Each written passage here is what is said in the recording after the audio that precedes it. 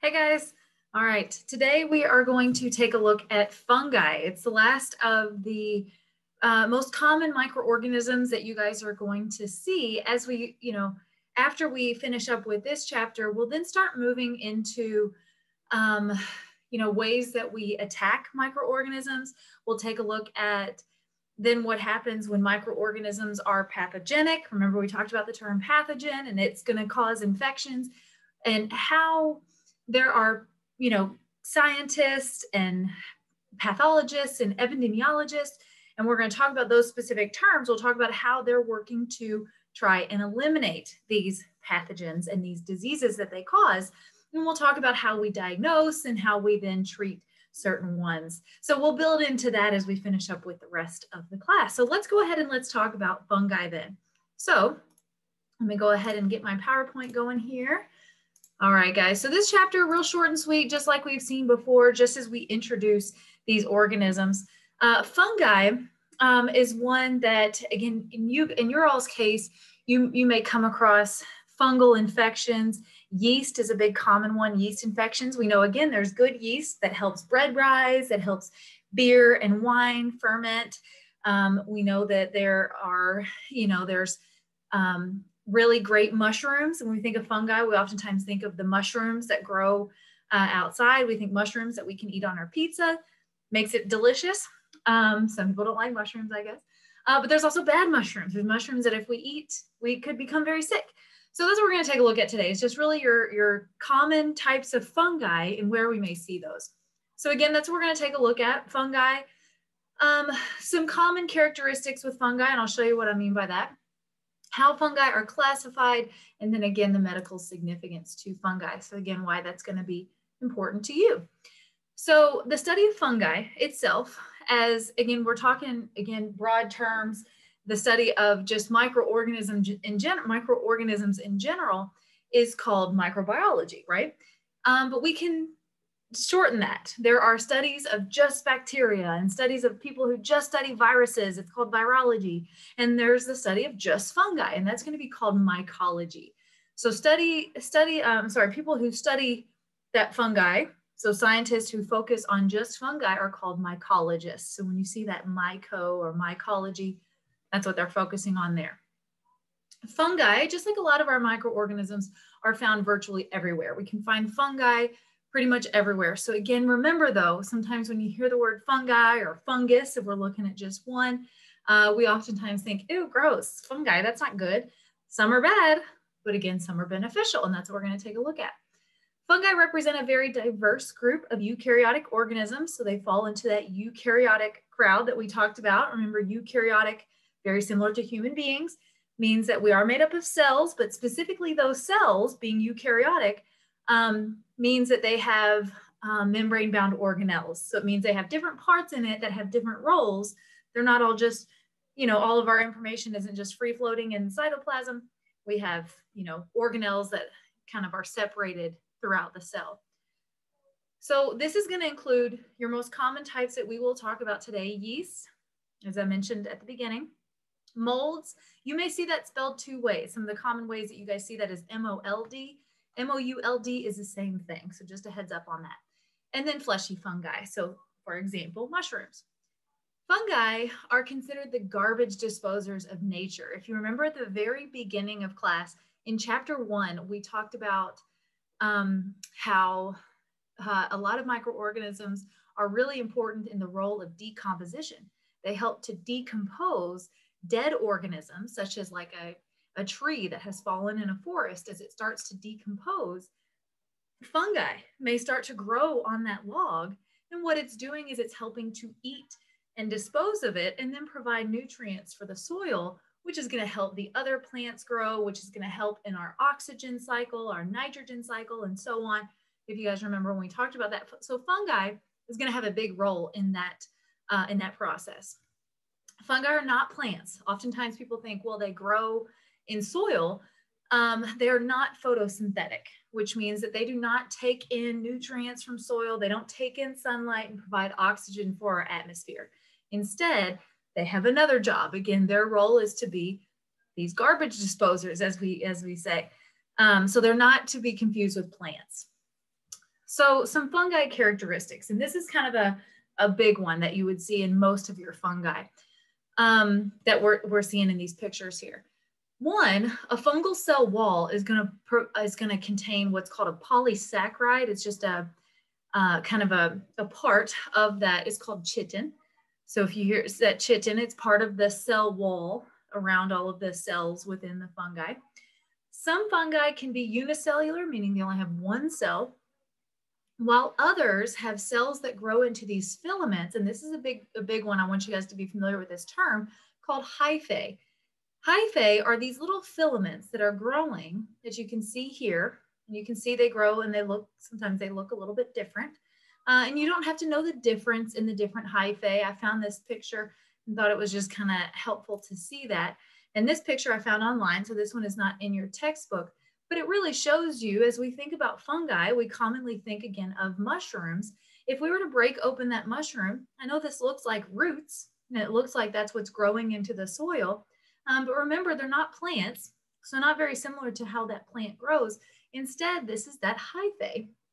Um, we have hyphae throughout the, the fungi itself. Um, and then we have underground hyphae that will kind of maybe act as roots. It helps to adhere it to the ground. In this, in this case, in with a mushroom, but we're going to see hyphae in some in some molds as well. Um, this specific mushroom is showing how spores are going to be what helps it to reproduce. Uh, some organisms produce spores, kind of like little seeds that are going to help that to then, you know, grow elsewhere. Um, but that's the main purpose of this is to show you where we would find that hyphae in a, in a mushroom, for instance. Here, this is what we're going to take a look at when we see mold, and we'll see, we'll talk about this a little bit later when we when we talk specifically about mold. Yeast typically does not contain hyphae. You can you know it's typically not going to be found as this is yeast and mold growing in a petri dish in a laboratory. Um, so you're seeing the mold kind of, I mean, I'm sorry, not mold, but yeast sometimes is similar to um, almost looks like bacteria. If we were to look at it under a microscope, it, it's a little bit bigger, uh, but typically you're seeing it like cocci, grows round and kind of sphere shaped. Uh, whereas mold, you can definitely see that hyphae. And mold is going to contain two hyphae that I do want you, go, you guys to know the difference uh, between. And this is pretty easy to remember. Um, but we have the vegetative hyphae that's going to grow underneath and then what's called aerial hyphae, which grows on top. And we'll talk a little bit more about that with mold when we, when we see that. This right now, I'm just kind of pointing out what hyphae is. So I'd be familiar with that term. You're also going to see it shows you the mycelium, which is when hyphae kind of grows uh, in uh, these separate filaments and grows kind of looks like roots. Don't worry about that. The main focus here is looking at the term hyphae. And there's just some more pictures for you, just various types of fungi. There's penicillium, that's the specific type of fungi that helps uh, create our, the medication penicillin, or penicillin, I can't talk today. Uh, but you can see the different uh, views of what hyphae looks like on these different microorganisms here, these different fungi. All right, so let's talk about our three common uh, fungi classifications. We're gonna take a look at yeast, and then we'll look at molds, and then we'll see fleshy fungi like mushrooms. Yeasts are found in soil and water, but also on the skins of different fruits and vegetables. Yeasts, as we've talked about before, have been used for centuries to make wine and beer. Um, so some of you guys talked about this in your discussion when we talked um, in, in week one, when I asked you guys to name a microorganism and what it's what it does. Uh, so a lot of you guys talked about bread making and how yeast is used in baking to help that bread rise. And specifically, that's what we're looking at here. Saccharomyces, Saccharomyces cerevisiae is the yeast that's used in baking. Candida albicans, however, is the yeast that we commonly find in infections that we isolate from human clinical specimens that's going to sometimes you know lead to those infections. So it's also the fungus that's most frequently isolated from human specimens when people are you know experiencing yeast infections of some sort. So again, we're seeing this type of fungi, we see benefits and then we see different, uh, a different, a totally different type of yeast that is gonna be the pathogenic type. Um, and as I mentioned before, yeast colonies sometimes can be difficult to distinguish from bacterial colonies simply because they look very similar to cocci as far as their appearance. They look, you know, round shaped. Uh, so a simple wet mount is what's used in a laboratory to differentiate the two, because then we can see yeast are typically going to be larger, as I, as I talked to you guys about that before when we are looking at that picture of the Petri dish. They're usually a little bit more oval shaped than they are round shaped. Um, yeasts are often observed in the process of budding. It's a type of replication, as that's how they're going to, uh, you know, replicate themselves and create more of themselves. They use budding, and bacteria does not use that type of replication process of budding. So just FYI on that, as far as the small differences between yeast and bacteria there. So here's that isolation. I, I mentioned to you guys that Candida, uh, albicans is the most common type of yeast that's going to be isolated from human clinical specimens. And this is just what that looks like growing on a blood, blood agar plate in a laboratory. Okay, so just a few things I wanted you guys to be familiar with with the yeasts. Another type of fungi is going to be called molds. And again, can be spelled two different ways, molds and molds. Um, we oftentimes, when we think of mold, I know the most common thing I think about when I think of mold is when I open up my, refrigerator and there's something in the very back that I haven't looked at in a very long time. And I go to grab it and it's been there for maybe a month. And I open it up and there's mold on top of it when something is going bad. Uh, so that's often where we see mold. And that's going to be a very common way that we see mold. And we'll talk about that here in just a second. So molds are oftentimes seen in water and soil and then growing on food, growing on food that has gone bad. Um, so we look at that and we go, gross, molds are terrible. Um, because it is, it just means that that food has gone bad and we definitely don't want to eat that because it would make us very sick. Um, but here's where we're seeing on that food that has gone bad, um, that aerial and vegetative hyphae.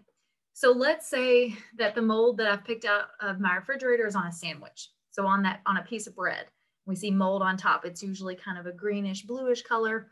Um, but there's actually that's what we're looking at when we when we talk about aerial hyphae.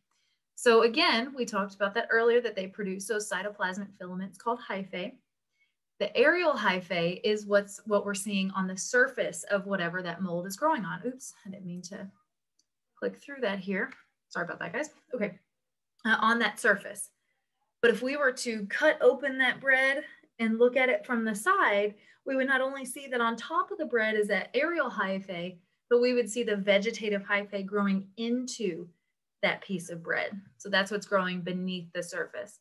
So that's the difference between that aerial and vegetative hyphae. So molds very similar to how um, mushrooms reproduce, as we saw in that picture of spores. Reproduction is by that spore formation. Uh, either takes place sexually, which means, you know, getting together with more molds, um, or asexually, meaning that it can reproduce on its own. Um, and that takes place on that aerial hyphae. Okay. Molds also have a great commercial importance though. So again, we talked about bad mold is what's growing on, on fruits and vegetables or that sandwich that I was talking to you guys about. So again, that means that that sandwich has to be thrown away because it would make us very sick. But again, remember there's different types of molds that are very beneficial, such as penicillium. I showed you guys that picture. That is the a really common one is that is the specific type of mold that helped us to discover penicillin. So it's used in antibiotics. And there are other molds that are used to, to help with that. Um, some molds are used to produce large quantities of enzymes that are going to be used commercially. And also the flavors of cheeses like blue cheese. I think I mentioned that in week one. We talked about some beneficial uh, fungi. Blue cheese is flavored by mold. It even looks like it has mold all over it. And other types of cheese. These are all due to the fact that molds grow on them, but they're a specific type of mold that does not make us sick. So that's the mold we can eat as opposed to mold that we cannot eat. So there's a lot of benefits to certain types of mold. And again, it just has to be these specific types. And then fleshy fungi. So fleshy fungi is what we think of when we think of mushrooms. So mushrooms, toadstools, puffballs, and bracket fungi all are, uh, fall into that fleshy fungi. So these as well consist of a network of filaments or strands. The mycelium, it's that, which is that hyphae that grows in the soil or on a, a rotting log. The fruiting body that grows above the ground and forms is going to release those spores, as we saw from that picture. And again, remember some mushrooms are edible and some are very toxic. So we don't want to just be walking around.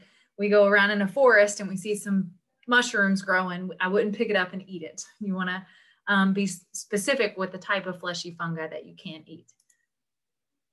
Okay, so those are our three types of fungi that we commonly see, yeast, molds, and fleshy fungi. And there's different types in each category, but those are your three common types of fungi. Um, fungi um, has a very important medical significance. A variety of fungi, including yeast, molds, and some fleshy fungi, or are of medical, veterinary, and agricultural importance because of the diseases that they cause. So again, we, we briefly mentioned some, and we know that, you know, we have either experienced or we've had patients or, or our family members or somebody that has experienced a yeast infection, or perhaps um, has eaten something that they didn't like, and it could have been something, you know, that was moldy. Um, so you know, we see that because of the diseases that they cause, not just in humans, but also in animals and plants. So the infectious diseases of humans and animals that are caused by molds are called mycoses. So again, we talked about how the study of fungi um, is called mycology. Well, diseases caused by, and it should really specifically be fungi, not necessarily molds, um, is called mycoses. So fungal infections can be, so these mycoses, so specifically, so that's kind of a typo, it should say caused by fungi. Uh, so these fungal infections, these mycoses themselves can be categorized, categorized in four different ways, leading from um, really not as severe to the most severe. And that is gonna be, again, based on how it spreads. Uh, so superficial, and hopefully these terms are, that term is uh, familiar from anatomy cutaneous, subcutaneous, and systemic. So let's talk about each of those. So superficial mycoses are fungal infections of the outermost areas of the body. So that would include hair, nails, your epidermis. So again, remember that's just the surface of the body. So it's just it's just an infection just on the surface. So might be easily uh, easier to treat than some that are going to infect other areas. Whereas now what happens is we're getting a little bit deeper. So a cutaneous mycosis, or mycoses, these are going to be fungal infections of the living layer. So getting down into the dermis. So going from the epidermis, remember that was the outermost layer of skin, but now we're getting into the layer underneath. And it's called the living layer because that's what is going to contain all of your skin's nerve endings, blood vessels, hair follicles, all, you know, all of those things so this can make, this can be a little bit more severe than those superficial infections. So a group of molds collectively referred to as uh, dermatophytes is gonna cause tinea, which is ringworm. Ringworm have nothing to do with worms. So for those of you guys who have ever either experienced ringworm or know somebody who has, it has nothing to do with worms. It's just the way that it kind of forms, um, you know, a ring and, and how it appears on the skin but it has nothing to do with that. It is based on molds. And then again, the yeast, uh, Candida albicans, is also going to be a cutaneous, oral, and vaginal infection. Some people get yeast infections within the mouth, and uh, some people get vaginal yeast infections, and both are caused by that specific yeast. And again, it is a cutaneous infection. Okay, Subcutaneous, as we know, the layer underneath our dermis is called our subcutaneous layer.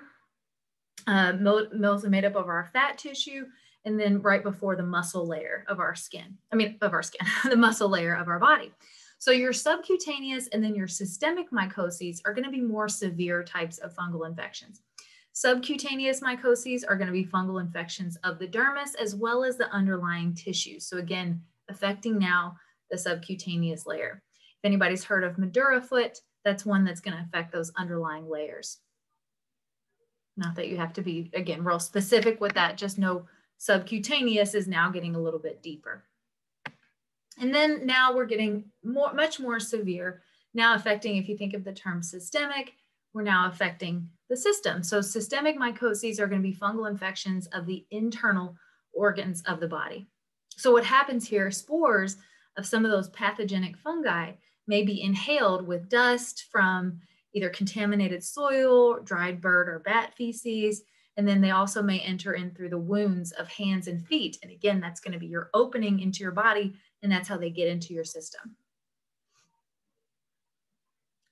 So again, those four different mycoses, uh, superficial is only the outside, cutaneous is going to affect the dermis layer underneath, subcutaneous affecting the dermis and the underlying tissues, and then systemic, your most severe is going to be then affecting the internal structures of the body. Okay. And that's all I wanted to show you guys for chapter five. As I told you guys, just really short and sweet chapter. Just wanted you guys to really understand the different types of fungi and again, why they're important to you guys. And so knowing the different types of mycoses is important. All right, guys, if you guys have any questions at all, let me know.